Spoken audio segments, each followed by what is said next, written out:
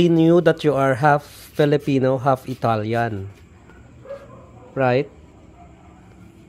Did you know one time yesterday? Oh. Um, no, the day before yesterday, Oh. I, I, I promised to. I, I told him, my brother said Hmm. that if I make, if I make more than fifteen shots, then I get ice cream and chocolate.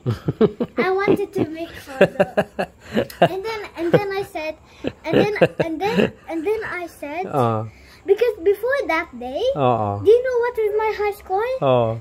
Five. really? How can I make that? And so then- you do not then- have the and then- chocolate. and then I and then I said I said okay if if I make more than 15 but I don't manage to make more than 20 only ice cream if I make more than 20 ice cream and chocolate. We deal. And then I got the ice cream and